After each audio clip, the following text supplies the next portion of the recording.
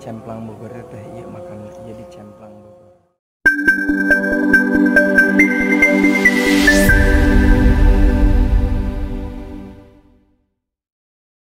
Sampurasun.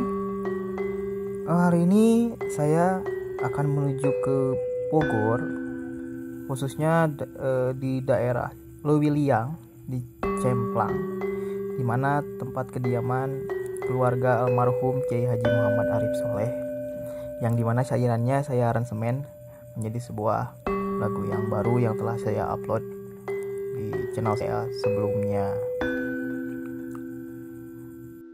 Tadinya saya mau menggunakan kereta, tetapi karena ini hari Senin, jadi tiket kereta dari Sukabumi ke Bogor itu habis. Jadi saya bersama Sandi menggunakan sepeda motor. Ya, menggunakan sepeda motor lebih cepat sih. Untuk perjalanan dari Sukabumi ke Bogor, ke- khususnya ke Lewiliang sekitar 3 jam perjalanan. Ini saya membawa kecapi dan suling karena ada permintaan dari putra Kiai Haji Muhammad Arif untuk live bermain musik di sana. Setelah sampai, saya disambut dengan hangat oleh Kang Dodon, putra Kiai Muhammad Arif almarhum, dan di sana saya langsung bermain musik live, diiringi kecapi oleh Kang Sandi, langsung di depan Kang Dodon, putra dari almarhum Kiai Muhammad Arif. Setelah istirahat dan dijamu, juga eh, banyak sekali bercakap dengan beliau. Kami pun diajak untuk pergi menuju ke ziarah ke makamnya Kiai Muhammad Arif. Tempat makamnya tidak jauh dari tempat kediaman Kang Dodon. Menggunakan sepeda motor, kita bisa sampai dengan kurang lebih waktunya 5 menit kita sudah sampai ke makam. Percakapan luar biasa tadi di rumah setelah bercakap tentang sejarah silsilah dan luar biasa ternyata Kang Dodon sangat ramah dan kali ini ada kesempatan yang besar di mana saya diajak langsung oleh putranya untuk ziarah ke makam almarhum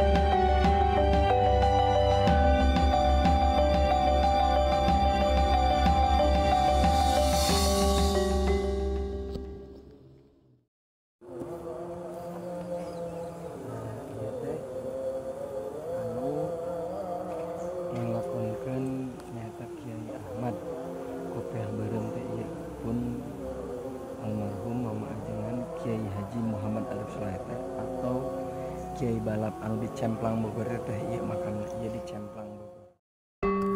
Saya tidak banyak bisa banyak mengucapkan kata-kata. Saya hanya bisa mendoakan. Mudah-mudahan almarhum Kiai Haji Muhammad Arif diterima iman Islamnya dan diampuni semua dosa-dosanya. Karya beliau walaupun dengan saya beda generasi tetapi karyanya tetap sampai zaman sekarang pun cerita dari terutama cerita dari Ki Ahmad Kopeyah Berem sangat memotivasi sekali dan sampai sekarang pun masih banyak yang mendengarkan ceritanya. Bahkan sempat difilmkan oleh channel YouTube suatu ketika dan dakwah yang dikemas luar biasa. Sampai sekarang pun masih tetap bisa dinikmati hasil karya beliau.